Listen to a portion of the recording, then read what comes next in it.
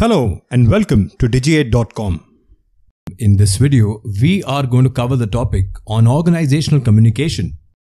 Now let's start with what is organizational communication? Organizational communication is a branch in communication studies that deals with the flow of knowledge and communication in firms by various media. This flow among employees, firms and individuals inside and outside the firm. Types of organizational communication entail informal and formal, directional, external and internal, and written and verbal communication. Now let's look at each one of them briefly. As stated, let's start with the types of organizational communication. First, formal communication. Business communication can be grouped based on how formal it is. Formal communication is usually structured in a particular way. There is a standard, well designed message. The firm makes sure the communication goes through proper routes and meets the need of the audience. On the other hand, we have informal communication. Informal communication is also called the grapevine. Information moves freely and spontaneously.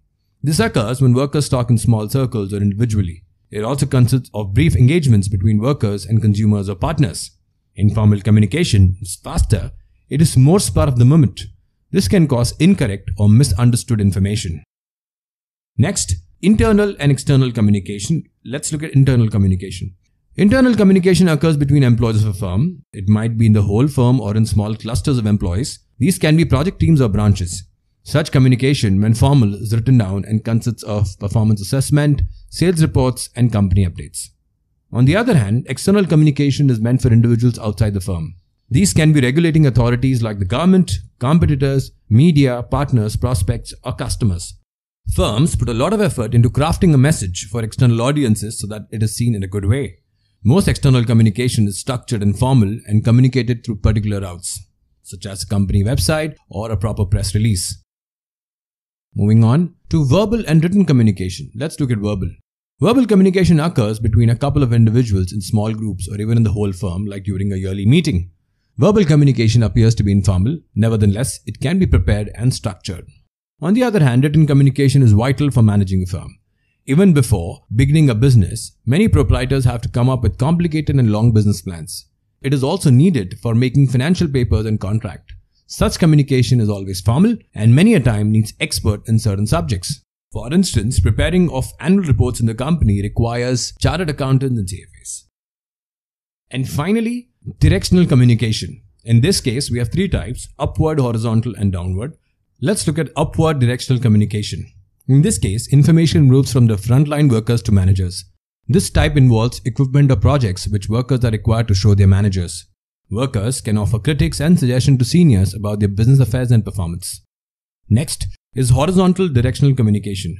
Communication can move horizontally through a firm. This occurs among workers, employees who occupy the same position in the hierarchy. This flow of information is usually spontaneous and fast, a lot like informal communication. Horizontal communication is usually oral and not written. And finally is downward directional communication. It goes from executives and managers to lower level employees as in a traditional structure. This consists of tasks or instructions that workers have to achieve.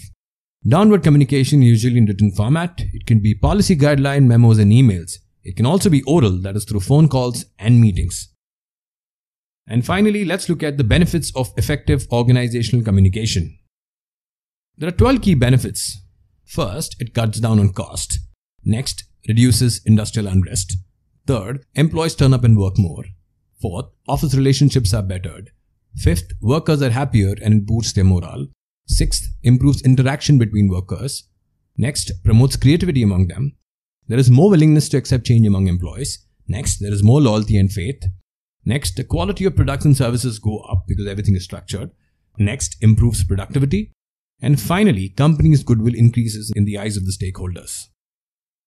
Now let's look at an example of organizational communication. In this case, Tesla and Elon Musk. In an internal Tesla memo, Elon Musk says the way most companies communicate is incredibly dumb.